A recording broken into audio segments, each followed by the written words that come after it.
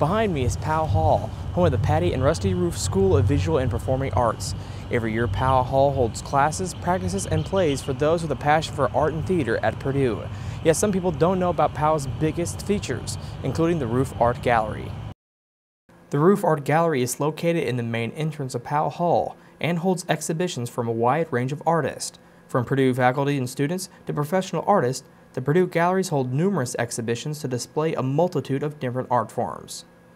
Most of our exhibitions are student and faculty work, but every semester we also have the opportunity to bring in guest artists. And some of the artists we've been able to bring in really are recognized at least nationally, if not internationally. And that brings crowds from um, even as far as Chicago or Indianapolis.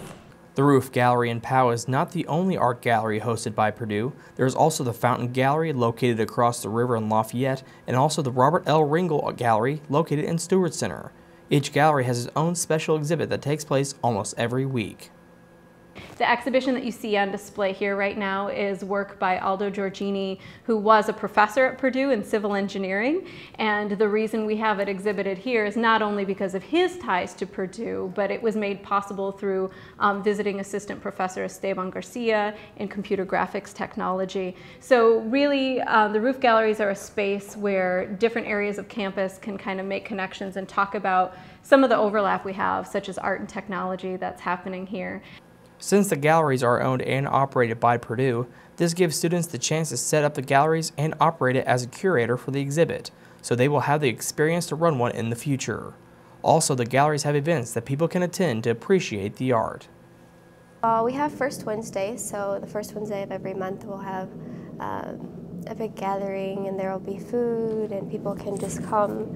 And then we also have a reception usually for every exhibit that comes in. We In this gallery we have they change out once every two weeks. So we have a lot of receptions for them, and then sometimes the artists will come and talk. Um, other times it's just kind of a free-for-all type of event. The galleries at Purdue is a great and fun way to explore art and grow an even bigger appreciation for it. The galleries are also free not only for Purdue students but for the community as well. The galleries are open Monday through Friday from 10 a.m. to 5 p.m. and Thursday from 10 a.m. to 7 p.m. For Fast Track, I'm Garrett Brown.